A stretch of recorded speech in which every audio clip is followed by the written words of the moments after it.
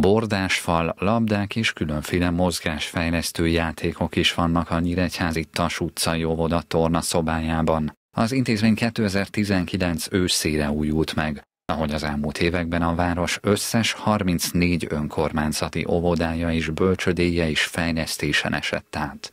Ráadásul a kórház területén egy új intézményt is létrehoztak a kisgyermekek számára. A beruházásokra több projekt keretében volt lehetőség, Legutóbb egy hét közte három külterületi intézmény magában foglaló projekt végére került pont, noha maguk a munkálatok ezeknél már 2019-ben befejeződtek.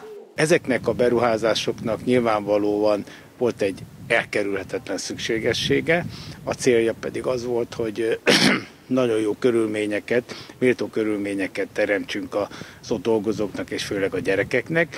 Másrészt ez, ez igen komoly költségmegtakarítást is jelent, hiszen a rezsiköltségekben a fűtési költség az nagyon meghatározó.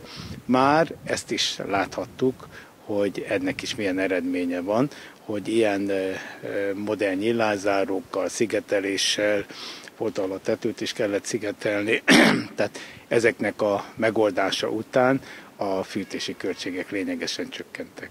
Az energetikai korszerűsítés mellett a benti és udvari játszóeszközöket is fejlesztették az intézményekben, ott, ahol logopédus szobát is kialakítottak. A felújításoknak és férőhelybővítéseknek köszönhetően a megyeszékhelyen több mint 4000 óvodásnak van biztosítva a napközbeni ellátása nevelése modern körülmények között.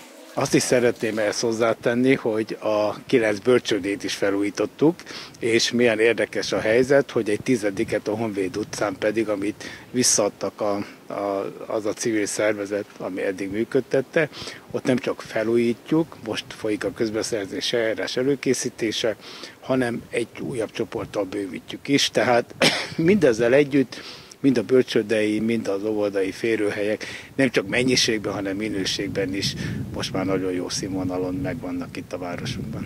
A polgármester hozzátette, az egyházi fenntartású intézmények férőhely bővítéseivel együtt a mostani bölcsödei óvodai kapacitás egy-két évre előrevetítve is elegendőnek látszik Nyíregyházán.